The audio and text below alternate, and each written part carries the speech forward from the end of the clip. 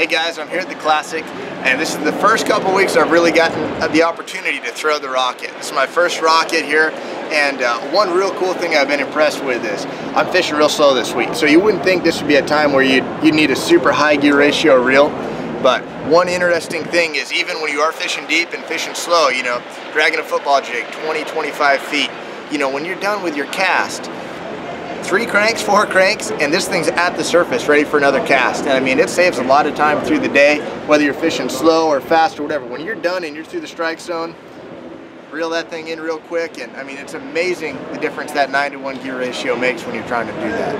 This thing is sweet.